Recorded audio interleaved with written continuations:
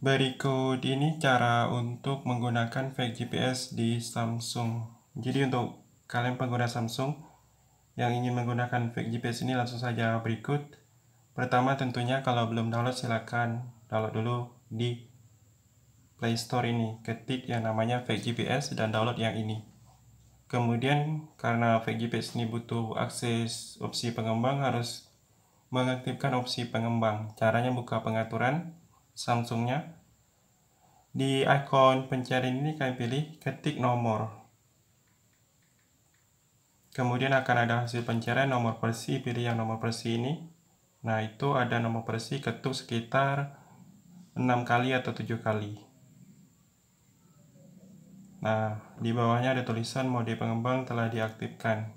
Kalau kalian pakai kunci layar itu harus memasukkan kunci layar baru aktif. Setelah aktif, masih dari pengaturan ini, gulir ke bawah, pilih di bawah tentang ponsel ini ada pilihan pengembang. Kalian pilih.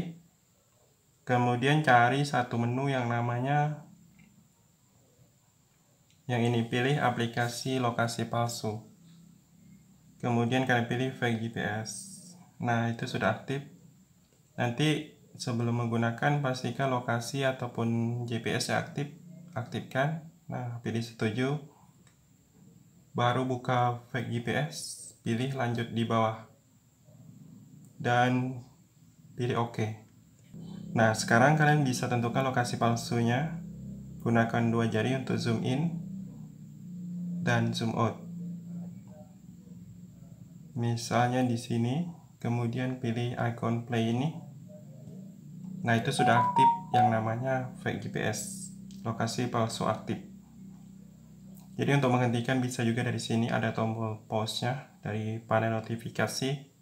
Nah, seperti ini.